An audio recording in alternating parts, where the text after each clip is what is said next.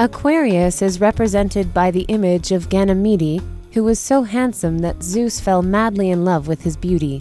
One day, Zeus, in his eagle form, carried Ganymede away to Mount Olympus, where he would be the god's cupbearer. But when Ganymede saw that humans were suffering from a lack of water, he felt sorry for them and sent rain upon the earth. After this generous act, Zeus added Ganymede to the stars as the constellation of Aquarius.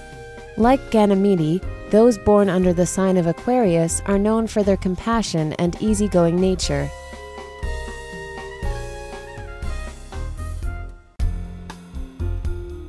Gemini, the third and last of the air signs, is associated with the brothers of Greek mythology, Castor and Pollux.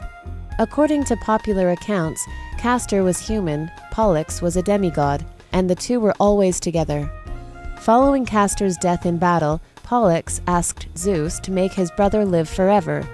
Zeus agreed and placed the twins among the stars as part of the constellation of Gemini. Today, you can recognize a Gemini by their intelligence and sociable personality.